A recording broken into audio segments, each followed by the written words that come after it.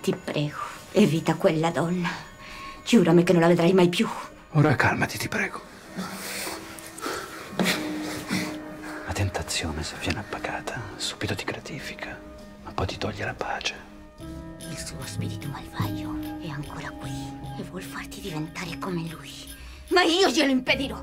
Domani quando Paolo celebra la messa vengo in chiesa e dall'altare dico tutto. Tu non lo farai. Ti ho seguito e ti ho visto assieme a lei. Da cosa vorresti salvarmi? Dalle tue paure?